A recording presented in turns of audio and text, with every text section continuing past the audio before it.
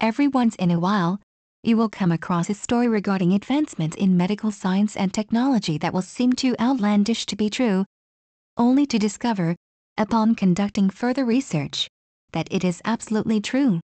A great example of this, for instance, is the reports emerging about work being done to improve X-rays and lower radiation exposure by studying moths.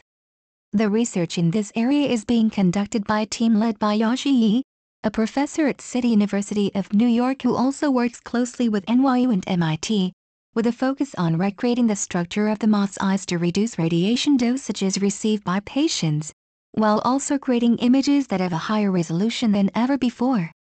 Of course, Study of the moth eye is nothing new, as engineers have been using the moth eye for years as a model to help them design coatings for solar panels that are more efficient. And militaries have even been studying the moth eye in order to learn more about anti-reflective surfaces. The reason for this is simple.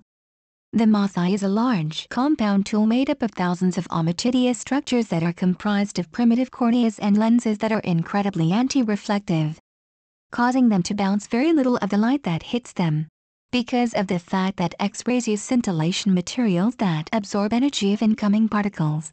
Thereafter re-emitting these absorbed particles in the form of light. Yi's research has led to the creation of a thin film made up of a special type of crystal that is modeled after the structure of the moth's eye.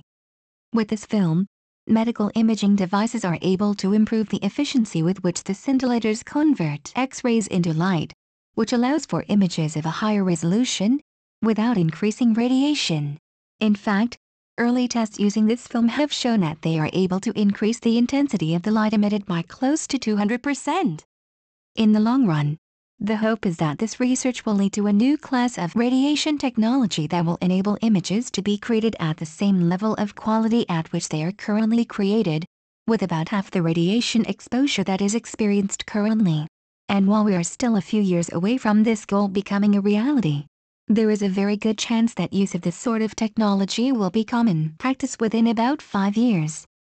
It might seem too outlandish to be true, but the same has been said in the past about many medical advancements, and soon we may find that this innovation inspired by the moth is just one more piece of our ever-growing puzzle of advancements in radiology.